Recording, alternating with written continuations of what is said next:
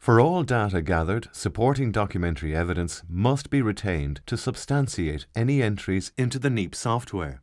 BER assessors must endeavour to gather as much relevant data, photographs, and supporting evidence as possible to increase the likelihood of an accurate survey and assessment. Zoning. Assessors must adhere to the zoning convention as set out in the ISBEM User Guide. The end result of the zoning process is a set of zones which are distinguished from all others in contact with it by differences in their activities, building services, or day lighting provisions. The list of activities associated with zones is set out in the NEAP Survey Guide. There are instances where zones can be merged together, which may help reduce the amount of time and measurement required. For example, two offices can be merged where they are connected to each other and have the same zone activity, building services and access to daylight. ISBEM User Guide and the NEAP Survey Guide provide guidance on merging zones. Small, unconditioned spaces like store cupboards or riser ducts can be absorbed into adjacent conditioned spaces.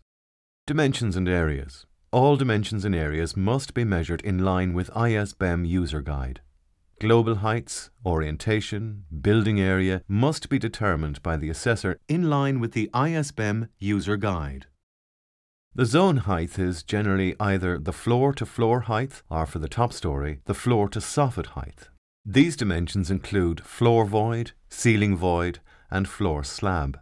Additional guidance is set out in the NEAP Survey Guide for heights of zones for different building configurations. The assessor must also determine the zone area, envelope area, opening areas, and associated orientations. The external window area is the structural opening in the wall or roof. This area includes the glass and frame areas. For roof lights in particular, the assessor must be careful in using default values for the surface area ratio and area ratio covered, particularly in conditioned zones or zones with automatic daylight controls. The assessor must determine the surface area ratio for the roof lights. This is the ratio of the roof area covered by an array of roof lights to the total area of roof light glazing. For domed and conical roof lights, the surface area would be larger than 1. It cannot have a value less than 1. All information should be taken and recorded in line with the NEAP Survey Guide. For more information on zoning, dimensions and areas, visit www.seai.ie forward slash BER.